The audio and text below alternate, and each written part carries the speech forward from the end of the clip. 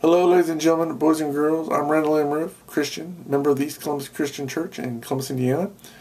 And I'm here in the home office in Titusville, Indiana. And I thought I would give you a brief overview of the sermon we had today at church. Uh, this is the bulletin. Uh, give you a wide view there.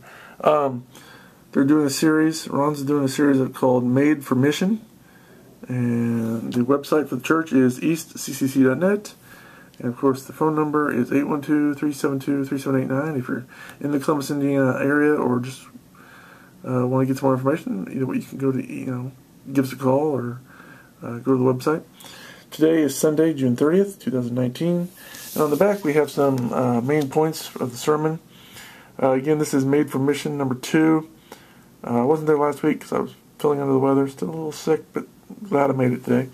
Um, it's always, based on a Bible verse, or in this case, uh, a chapter of the Bible, uh, Luke uh, chapter 9. And the, the main points of the mission, uh, the mission, the main points of the sermon were the mission. And the mission is comfort or Jesus. That was the first one. In other words, are you going to be comfortable or are you going to serve Jesus? Because uh, the fact is, a lot of times when you serve Jesus, you're going to have to give up your comfort. And the encouragement is to realize that, hey, Serving Jesus is more important than your comfort.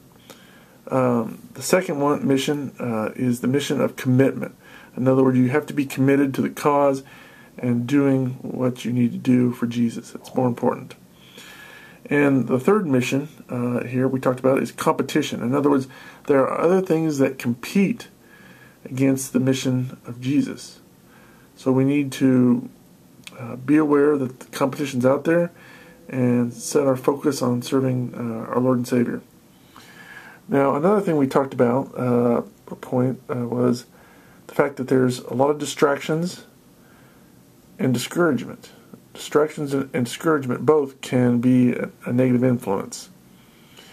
Uh, and this was something I'd never heard before, but it's um, something to think about. It says, I wrote down bad uh, slash busy. And one of the sticking points was uh, of the mission. Uh, main uh, points was, you know, Satan tries to deter us from uh, not only continuing our walk with Christ, but uh, to stop us from helping others to go to Christ. And you know, you know, the the saying he had was, if Satan can't make us bad, he'll make us busy. So in other words, if if if Satan knows, hey, he's a Christian or she's a Christian, and I can't deter them from helping other people uh, in a way that will turn them bad, maybe I can do it by making them busy, giving them activities and things that will distract them from doing what uh, our Lord and Savior wants us to do. So the idea was that, you know, if Satan can't make you a bad person, he'll make you a busy person.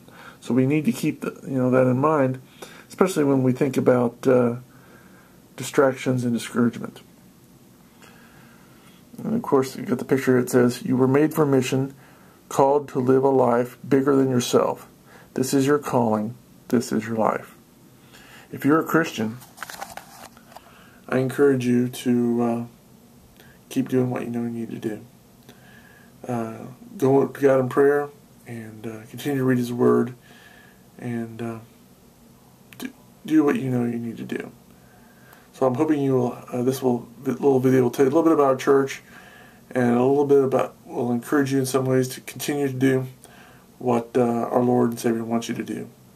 So until next time, I'm Randall M. Rueff saying thanks for watching. Have a good day. May God bless you.